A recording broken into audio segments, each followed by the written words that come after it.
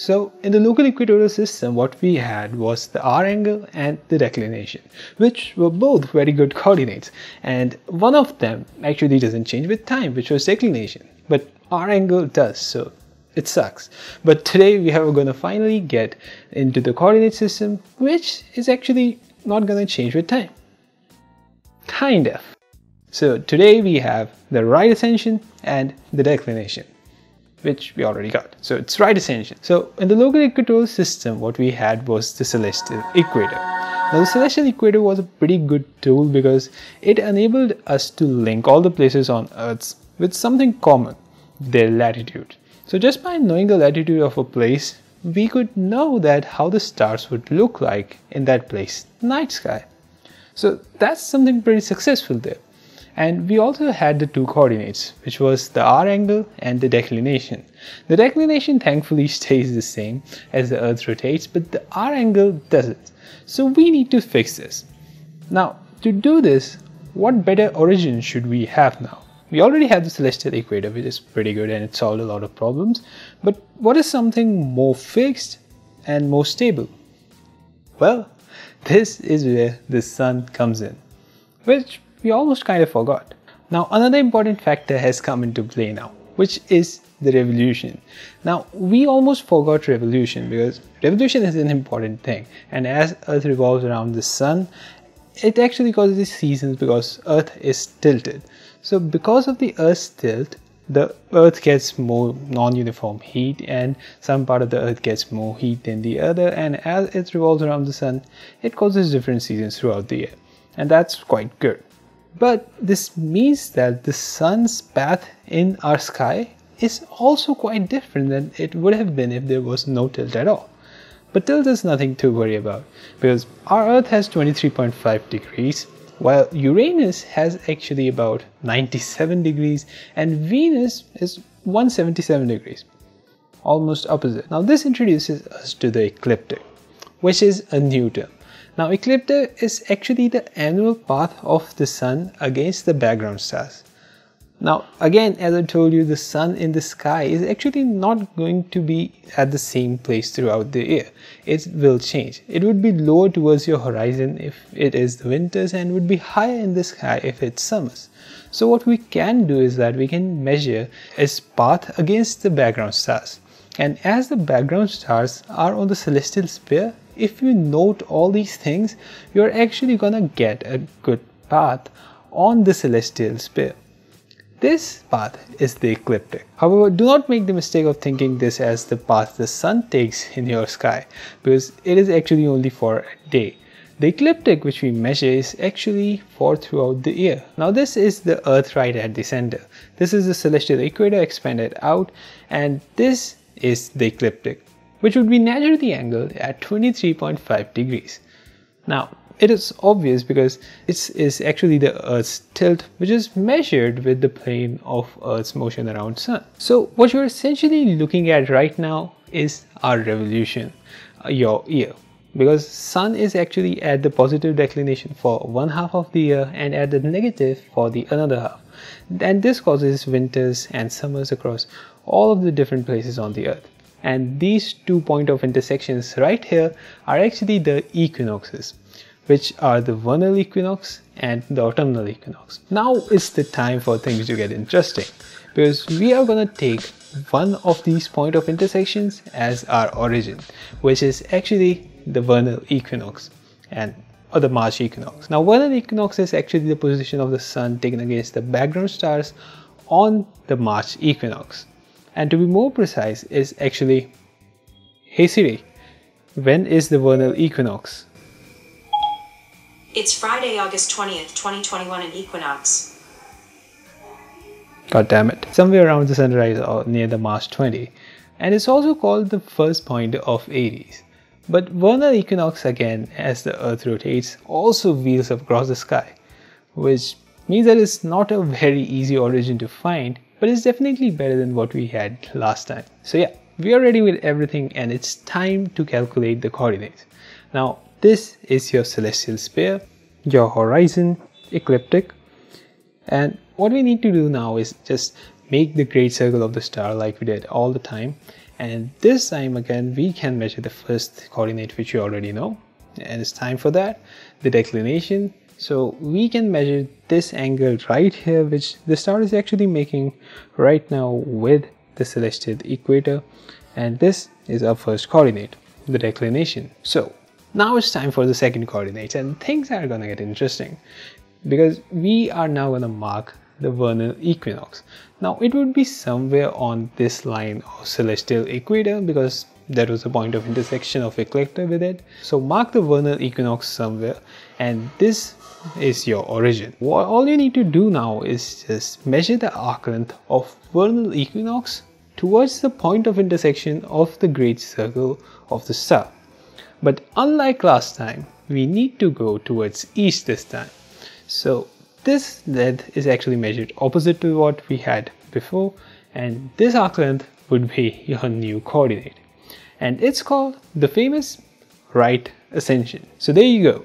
These are the two coordinates of the universal equatorial system, the right ascension and the declination. Now again right ascension is also measured in the units of time so what we mark again here would be in the units of time which is again the same equivalent what we had last time which was 360 degree equals to 24 hours. But what we have now to make things more further simple is that what we can do is make all of this celestial sphere into grids. By dividing our celestial sphere into grids, what we can have is a simple model which would be similar to the latitudes and longitudes of the Earth. The vernal equinox would just act like the Greenwich meridian, and our equator would simply be our equator. However, the video would be incomplete if we did not test the coordinates of the things like the equinoxes and the solstice. So let's do that. This is our celestial sphere. This is our ecliptic, that is our earth and the celestial equator. Now this is not your night sky, it's just like seeing earth from something very far away. So in this we have our ecliptic tilted at 23.5 degrees. So coming to the first one, which would be our equinoxes, obviously the one equinox right here would be at 0 0 since it is the origin the right ascension is 0 and the declination is 0 because it intersects the celestial equator now the another equinox which we have right here is the autumnal equinox and with this what we can do is that we can obviously see that its right ascension is somewhere. If you just go towards the sun right now it's actually at the 12 hour and again its declination would be 0 because it's also intersecting the celestial equator. Now both of the solstices here would be actually at the 6 hour and the 18 hour right ascension and the declination would be actually for summer solstice at 23.5 degrees and for the winter solstice at a negative 23.5. Now what we can also observe here right here in the diagram is actually that how the sun's diurnal circles changes throughout the year. Now this is because we already know that the sun's declination changes and as it moves across the ecliptic what happens is that this declination is actually maximum on the summer solstice which is positive 23.5 degrees. And it's lowest on the uh, winter solstice which is actually negative 23.5 degrees now we can just by drawing the diurnal circle for the three months, for the three times of the year like the equinox, winter solstice and summer solstice, we can see that how much the diurnal circle of the sun varies in your location. So let's go into the diagram. This is your horizon. That is your celestial equator and this is your north-south line. Of course, this would be uh, varying depending to your latitude. So now what we can do is just just draw our sun. But where should we place it? It's only the declination what you need to know to draw a diurnal circle. So what we can do now is just uh, for the equinox, we know that the declination is actually zero. So what is going to happen is just the sun is actually just going to follow your celestial equator. And that's pretty simple. But for the summer solstice, you can see that the diurnal circle will have the declination of 23.5 degrees and the sun would be much higher up in the sky. And again for the winter months we can see that the sun is actually much lower in the sky with the declination of uh, minus 23.5 degrees. So this also explains by looking carefully in the diagram that the sun spends most of the time above the horizon in the summer So this means that the days are actually much longer. And again, for the winter months, we can see that the sun spends most of the time below the horizon. So the days are definitely much shorter. We can also see that how the sun would move if this would be on the equator. And you can see that this is you, this is your horizon.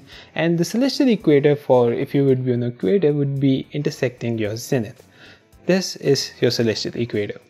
Now again, we, we know for the declination, the sun would move actually from your celestial equator, which would be at equinox, to plus 23.5 degrees and minus 23.5 degrees. But another interesting thing to notice right here is that the sun is actually spending equal times above and below the horizon. So basically the days and nights are equal. However, you might remember that the stars which never set on your area are actually called the circumpolar stars. However, let's find out what is the condition for the star to be circumpolar in your area. So we have this diagram again, your horizon, celestial sphere and the celestial equator. How low can this star go in your area for it to be circumpolar? Well, actually when it's lowest in the sky, it should be just touching your horizon. That should be the condition of a circumpolar star.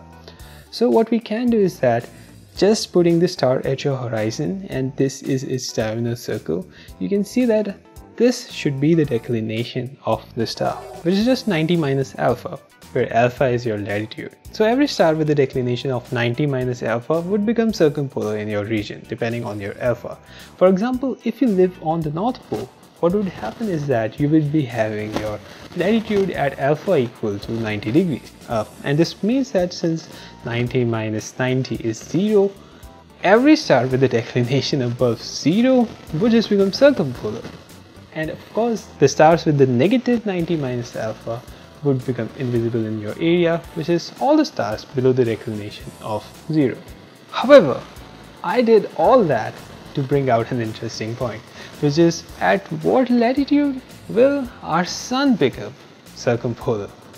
Yeah, so now we already have this formula of 90 minus alpha, so what we need to do since we already know the declination of the sun actually ranges from 23.5 to negative 23.5, we can see that for 90 minus 23.5, this gives us the latitude of 66.5, which is actually the latitude of Arctic and Antarctic circles. This is the place where the sun actually becomes circumpolar. So of course, the higher you go above the 66.5 degrees latitude, the days of the total darkness and the total brightness would become even more extreme, with the North Pole going to the six months of light and six months of darkness. Of course, the winters would be even more extreme because there would be no sun, and already it's on such a high altitude.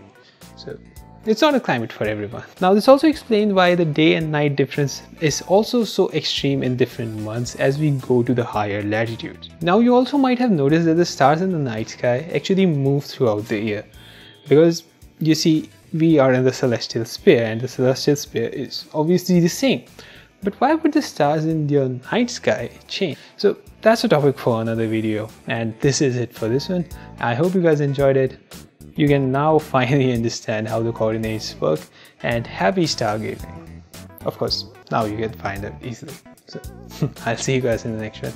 Bye.